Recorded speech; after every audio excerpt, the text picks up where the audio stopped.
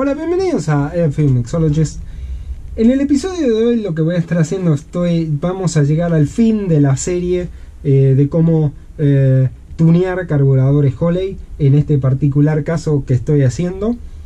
Y lo que voy a hacer en este video es ya mostrarles algunos detalles que son importantes en este, en este caso en particular y también les voy, a, les voy a explicar cómo yo pongo los chiclieres, cómo pongo una, la configuración inicial del carburador, ¿sí? que esto es, bastante importante. Entonces, empecemos acá, em, o sea, repasando primero qué es lo que, qué es lo que hemos hecho hasta ahora. Entonces, como, como ya se lo han visto en, episodios anteriores, lo que hemos hecho es hemos modificado esta base eh, y también hemos cambiado los venturis auxiliares o boosters, como lo llama Holley.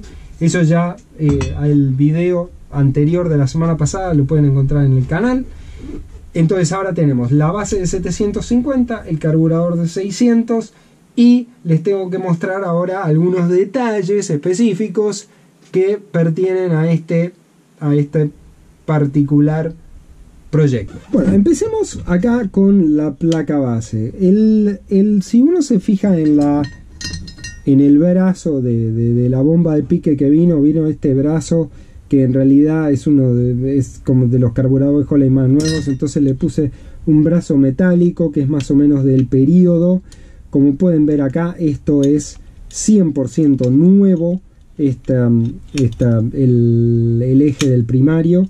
El eje del secundario lo reciclé del carburador que vino antes, pero está en buena condición. Entonces, este, esta placa ya está en perfectas condiciones. Como ven, como yo siempre digo, es el número importante 172172 en todos lados. Entonces esta placa ya está lista para, para ser instalada. Una cosa importante que yo siempre digo, que es un detalle de los carburadores viejos.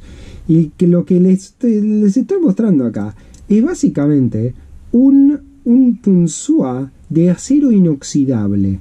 Que, vino con el carburador. Esto es el original del carburador. Y yo lo que hice fue ponerle un O-ring nuevo.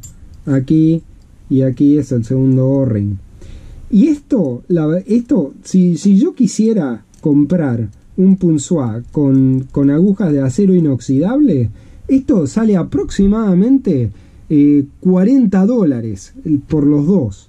O sea que es una gran cosa que haya podido encontrar y rescatar estas cosas importantes.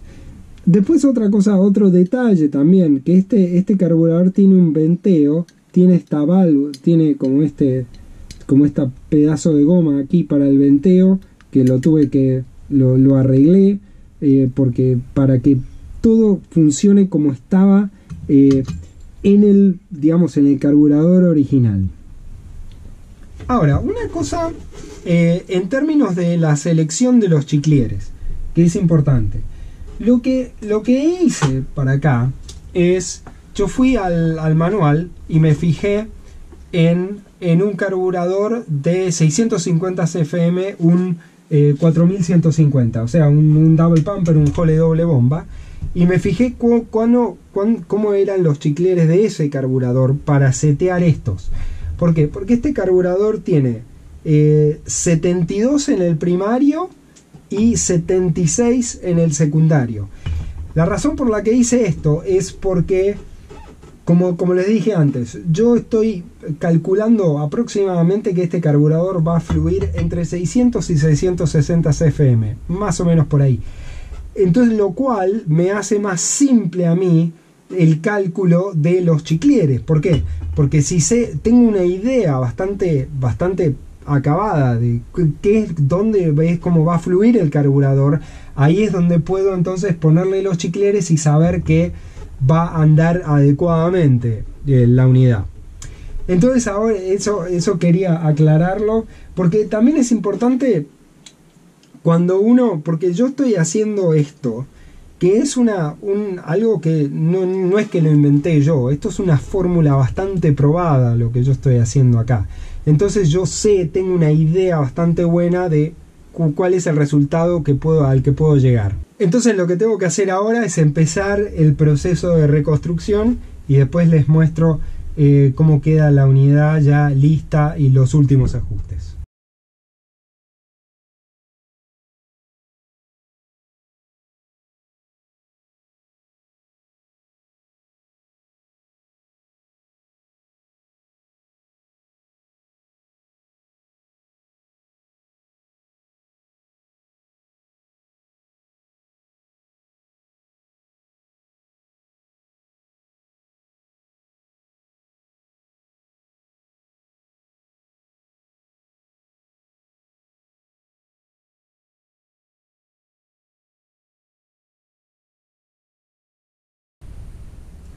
Ok, ahora ya tenemos el carburador 100% armado.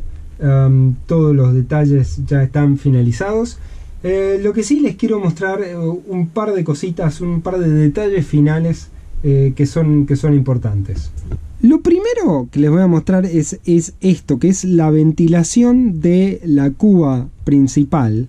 Si ustedes se fijan acá, apenas empiezo a acelerar, lo que, lo que hace esta, esta, esta manecita, digamos, es poner, es poner esta, esta, esta goma, así, tapa la cuba.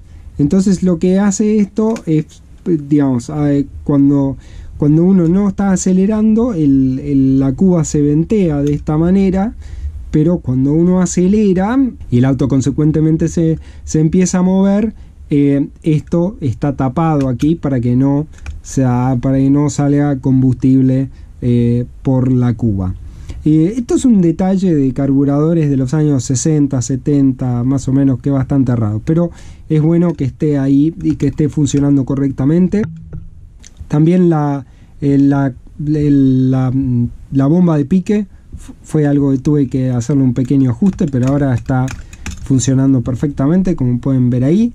Y la otra, la otra cosa que hicimos fue también aquí poner una nueva, un nuevo diafragma en el pulmón de vacío eh, para, para asegurarme que todo esto va a estar en perfectas condiciones y va a durar eh, muchos, muchos años de, operación.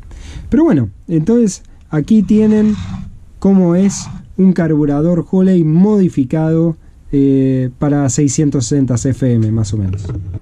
Entonces bueno, eh, ya estamos llegando al final de este video. Les quiero agradecer mucho, mucho por mirar. Eh, si tienen alguna pregunta, pónganla en los comentarios. Yo trataré de responder eh, lo antes que pueda.